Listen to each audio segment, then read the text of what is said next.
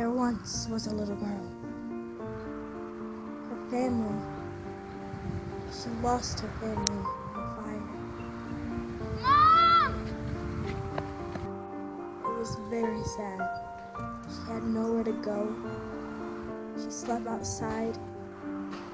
And it was just horrible. And the cold. The house that burned down was the only place she had. Lived there and everything.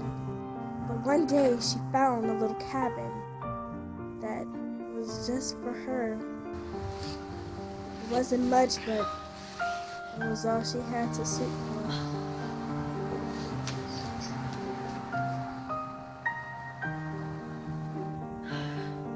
She found a phone, but it wouldn't work. Work!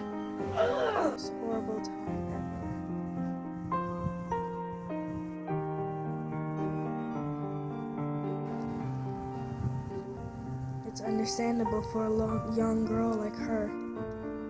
Nowhere. no one to go to. Her mom did die, and she asked the doctor about it too. I'm sorry, but she didn't make it.